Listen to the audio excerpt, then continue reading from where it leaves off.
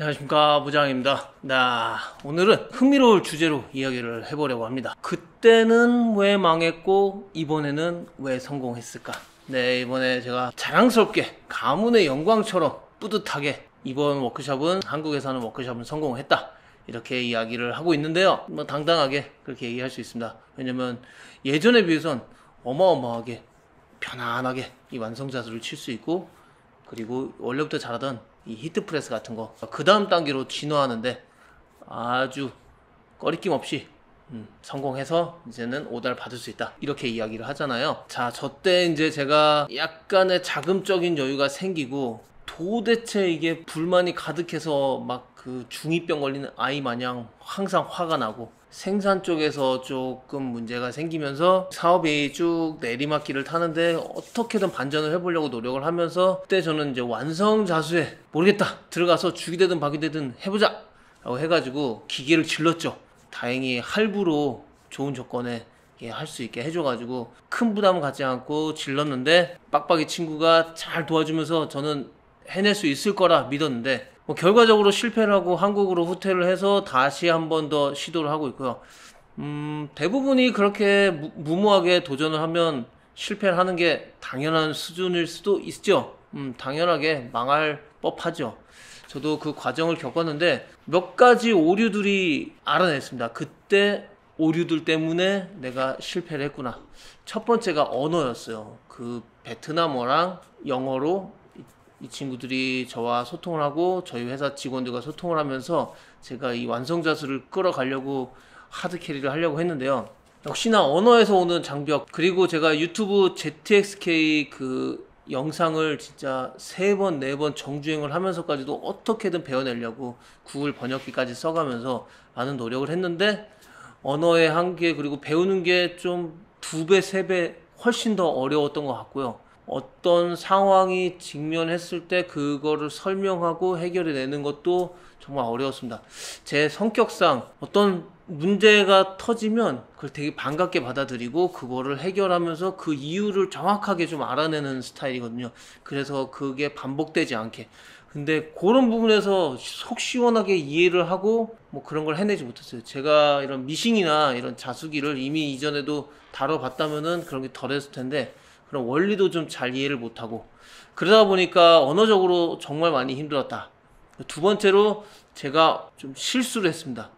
제가 그때 스카 씨라는 하늘 씨라는 그 친구와 제가 둘이서 이걸 해나가자 하면서 약간 그때 파트를 나눴어요. 저는 자수 펀칭을 좀 우습게 쉽게 알고 제가 할 수 있을 거다. 제 일러스트 포토샵은 너무 잘하니까 그걸 하면은 잘할 수 있다고 얘기를 해줘가지고 그래서 저는 그쪽으로 파고 들어가면서 영어로 공부를 하고 배우면서 엄청 어렵게 그를 실행해 나갔고 이 스카이시라는 이 베트남 친구는 베트남 기술자한테 기술을 배우면서 제가 펀칭을 해서 입력을 시키면 그 친구가 찍어내는 이 수사의 역할. 이 자수 비즈니스는 수사와 펀칭사 이 두 분이 가장 중요한 역할을 하는데요. 음, 우리 둘도 그렇게 나눠서 했어요.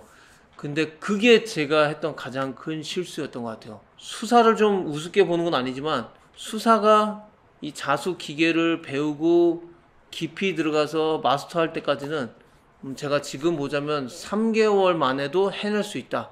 짧은 시간에 많이 배워내고 그런 과정에서 많이 경험을 해서 배워낼 수 있는 그 깊이감이 깊진 않다. 근데 이 펀칭은 지금 보면 배우면 배울수록 깊이감이 더 있고요. 그리고 분명히 그리고 완성의 모자에다 자수 찍는 것과 완성되지 않은 재단물 혹은 평판에 자수 찍는 거는 펀칭이 완전 달랐어요. 야, 지금에서야 알겠지만 그때는 평판에 열심히 때려대면서 막 제 유튜브에서 막 이만큼 때렸다고 자랑도 하고 막 잘난 체도 했었는데 그때 보면 뭐 자동 펀칭에 수동 펀칭이 약간 들어가고 일러스트 벡터 땡겨 와가지고 자동으로 변환하고 이러면서 너무 쉽게 했었는데 제가 스마일 로고를 하나 만들어가지고 평판에 때렸는데 너무 잘 나왔어요. 그래서 그다음부터 이제 오케이 모자로 넘어가자 해서 모자를 걸고 찍었는데 스마일이 동그래야 되는데 이게 납작해지고 핀트가 어긋나가지고 테두리 검정색이 막 저쪽 옆으로 가 있고 막 그 사이 공간에 띄고 이러면서 뭐 자수가 엉망으로 나왔던 거예요. 그때부터 제가 멘붕이 오면서 야 이거 왜 안 되지? 왜 안 되지? 결국은 깊이 들어간 지금 현실에서 보면은 평판과 완성 자수는 달랐는데 그 깊이감을 해결해내지를 못하고 경험치를 쌓을 수도 없고 결국은 그 정체기에 들어갔었죠. 그리고 스트레스 받는 기회에 들어가고 그 다음 진행을 못하고 제 스카이 씨는 또 제가 한국 왔다 갔다 하면서 또 일이 불편하게 진행되고 제가 그런 상황에서 오다를 받거나 제 제품을 만들 수가 없었잖아요. 그래서 일이 또 없고 이러면서 그 친구도 힘이 빠지고 그래서 그 친구가 그만뒀어요. 갑자기 그만두고 나니까 이제 제가 펀칭을 해도 자수를 때릴 수도 없는 거예요. 제 자수를 거는 기술이 없는 거예요. 그걸 다시 배워야 되니까 또 막막하고. 그래서 무작정 보류 상태로 놔뒀죠. 그랬더니 먼지가 쌓이고 녹은 쓸진 않았지만 분명히 뭔가 불안해가지고 야 이거 내가 DTG 이후로 또 실패를 보는 건가? 이 비싼 독일 장비를 베트남에 사놓고 또 고철덩어리를 만들어 놓은 건가? 하면서 엄청 힘들었죠. 하지만 올해 초 뭐 운이 좋아서 이렇게 바르단 자수기도 하고 이겨냈지만 그렇게 언어적인 문제와 수사와 펀칭사를 내 안에서 그리고 깊이 들어가야 될 그 영역까지도 내가 쉽게 보고 들어갈 수 있다라고 생각하면서 들어간 부분. 그리고 뭐 세 번째로는 내가 이걸 다 전체를 마스터하지도 못하면서 직원을 썼는데 직원이 나가버린 퇴사해버린 문제. 그러면 갑자기 팔다리가 잘린 것 같은 이 머리만 남아있는 것 같은 그런 끔찍한 상황을 제가 겪었는데요. 그러면서 이제 망했습니다. 베트남에서 첫 번째 워크샵 자수는 망했고 그래서 heat press 쪽이랑 그런 필름 쪽, 커팅 쪽 그쪽이라도 좀 더 마스터하자 해서 연습을 많이 하고 제품을 좀 많이 만들었었고요. 지금은 그쪽은 완전히 어느 정도까지 올라선 그 프로페셔널 수준까지도 갔는데 자수가 이제 가지를 못했었죠. 그래서 이번에 한국에 와서 성공을 한 거죠. 첫 번째는 언어가 너무 쉬웠고 이 자수기를 판매하시는 바로단의 BK 솔루션 대표님이 언제든지 전화하면 다 설명해 주시고 이 전체적인 거를 제가 다 한글로 모국어로 편안하게 배울 수 있었고요. 너무 편안했습니다. 어, 언어가. 두 번째로 저는 펀칭 교육을 또 받고 별도의 금액을 주면서 받으면서 배워왔는데 유튜브 활동이랑 이 자수기까지 하면서 자수기가 들어왔고 펀칭을 배우면서 이걸 해냈으면 지금 여기 3개월 만에 성공 못했을 것 같아요. 그 당시에도 펀칭을 어떻게든 해보려고 5시간, 8시간, 10시간 10시간 이상, 12시간, 15시간까지 매달려서 펀칭을 해봤는데, 그러고 있으면 기계가 그냥 가만히 서 있는 거고, 이게 시간을 분배를 못 하겠더라고요. 그런 과정에서 한결 기획 대표님께서 교수님이라 부르는 그분께서 이제 저한테 연락을 주셔가지고 제가 만나고 그래 지금은 펀칭을 할 때가 아니다. 이분에게 펀칭을 의뢰하고 나는 깊숙이 모자 이 완성 자수기계 요거를 좀 바로단을 좀 정복해 보자. 이래가지고 그게 저한테 딱 깨닫는 순간 펀칭 프로그램은 절대 손을 안 댔고 계속 그분에게 의뢰하고 어 아무리 생각해도 저 펀칭을 가르쳐 주신 그분도 완성 모자에 대한 펀칭에 대한 경험이 없었고 그리고 저희 교수님도 완성 자수에 대한 모자 자수에 대한 경험이 없었어 가지고 그분도 저를 통해서 배웠고 저도 그분을 통해 배우는 그 기간이 상당히 길었고 그 기간에 엄청 고통스러운 시간도 많았어요. 이 자수실이 하도 끊어지니까 솔직히 비밀인데 그 실 다시 끼울 때마다 막 펀칭 교수님을 막 욕하면서 왜 이렇게 펀칭을 하는 겁니까? 말은 안 했지만 욕 많이 했습니다. 죄송합니다. 네, 교수님 죄송합니다. 그래서 이제 펀칭을 욕하고 근데 이제 기계도 문제였고 길이 안 들었던 것도 문제였고 그런 시간을 이제 이겨냈는데 지금 생각해 보면 그때 교수님이랑 저랑 진짜 감정적으로도 예민해졌고 너무 많이 막 싸웠는데 야 이런 작업을 이분 아니었으면 다른 분이랑 해낼 수 있었을까?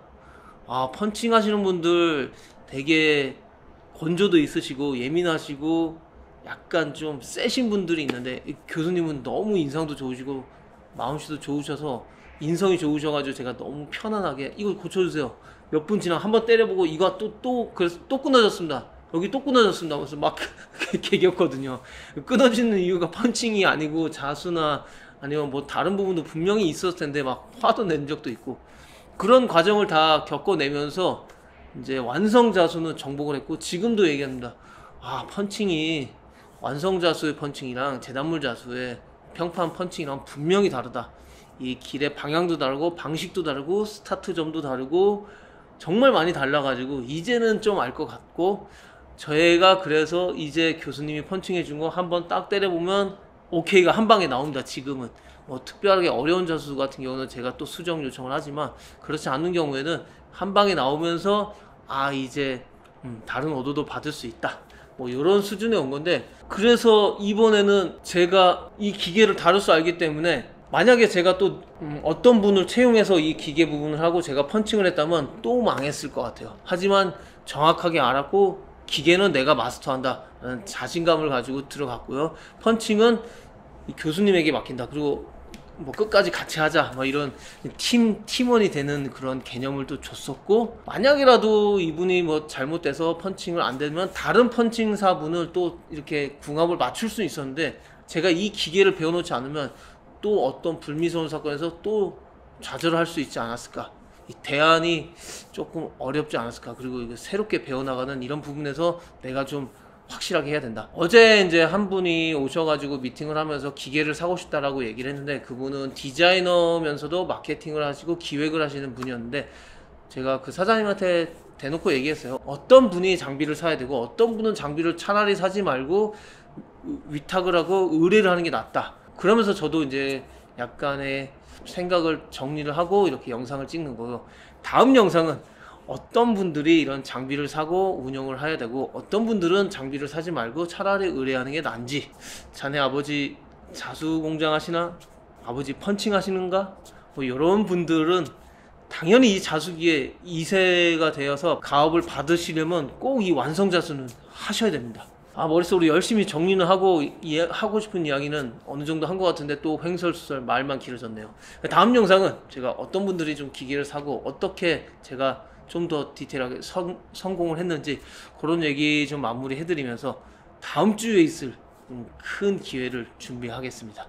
또 궁금한 거 있으신 분들은 이 댓글창에 댓글 남겨주시면 제가 친절하게 댓글도 달아드리거나 그 질문에 대한 영상도 찍어서 여러분들에게 좀 도움이 되도록 그리고 저는 이 완성 비즈니스 커스터마이징에 캐파를 키워야 되는 사람으로서 많은 노하우를 전수해드리고 아 그리고 저희 워크샵에 어제도 두 분 이상 오셨고 이제 또 오신다는 분들 계속 연락이 오는데 예 제가 더 바빠지기 전에 할 수 있을 만큼 최대한 하려고 하니까 편안하게 전화 주시고 오셔서 방문하시면 되고요. 대신에 음, 미팅하는 시간은 최대한 압축해서 30분에서 1시간 이내로 압축해서 보여드리고 장비 운영하는 거 보여드리고 프로세스 보여드리고 제품 제작에 하, 해야 된다면 가격대도 좀 알려드리고 이런 다양한 시간을 빠르게 가져보겠습니다. 연락 주세요.